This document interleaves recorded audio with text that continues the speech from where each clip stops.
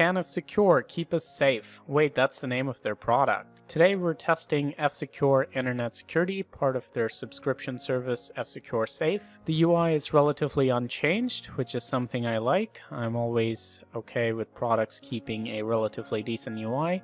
The components are also pretty much the same since I last tested it, so we're looking for the Deep Guard, which is the behavior blocker, and the virus protection to spring into action as we get into the test. It does have ransomware protection, although I don't expect much from it because it's more of a protected folder setting just like Windows Defenders. We also have advanced network protection, the firewall. This is the Internet Security Suite. does block suspicious websites, but we will be giving it our full automated script test which will be done in two phases. If we pass phase one, we go to phase two. You know the drill, let's get started.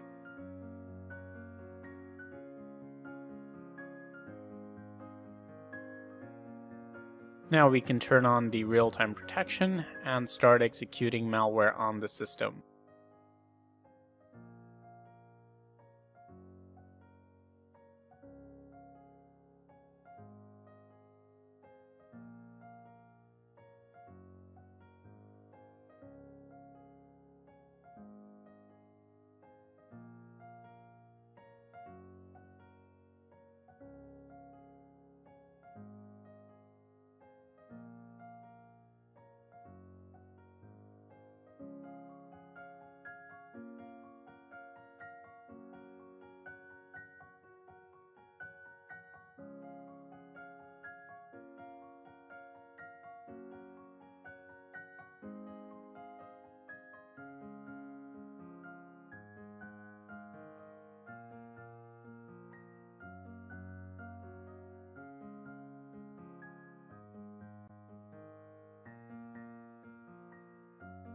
Looks like phase 1 is complete and we have a relatively clean system. The final proactive detection is 98% with a malware removal rate of 93%.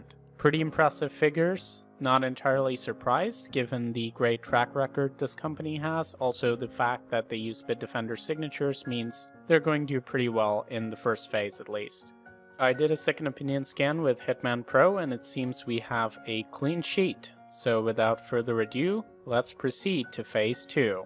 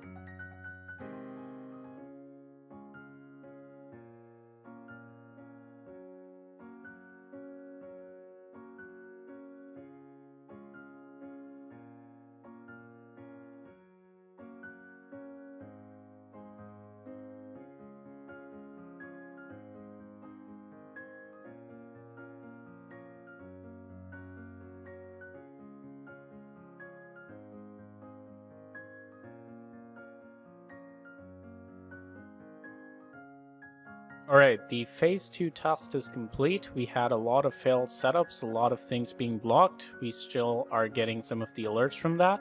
The proactive detection is 92.4% and the malware removal rate 75.2. Again, really good numbers, but I'm going to do a host of second opinion scans to finalize the results, so stay tuned. The final results are here, time to go through them. First of all, Malwarebytes did not detect anything, says the system is clean.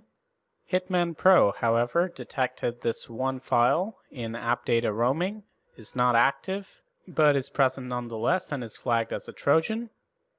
Norton Power Eraser, which I'm using as an alternative to Zemana, since Zemana is kind of useless now, has also picked up the same file. Since this is the only threat preventing F-Secure from a clean sheet, I actually looked it up in VirusTotal. It's detected by 12 engines. The signatures don't really tell us anything. FileRep malware, FileRep malware, behaves like adware, seems like a heuristic detection. hard to say what the fall does really. At the moment, it doesn't seem to be doing anything. So let's go ahead and execute it and see what happens.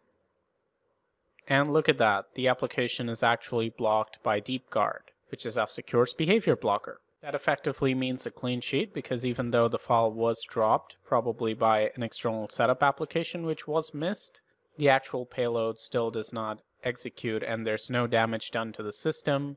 The malware is still blocked on execution.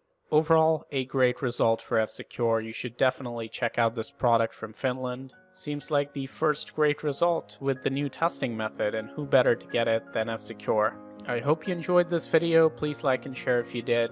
Thank you very much for watching, consider supporting me on Patreon, and don't forget to subscribe to the PC Security channel. This is Leo, and as always, stay informed, stay secure.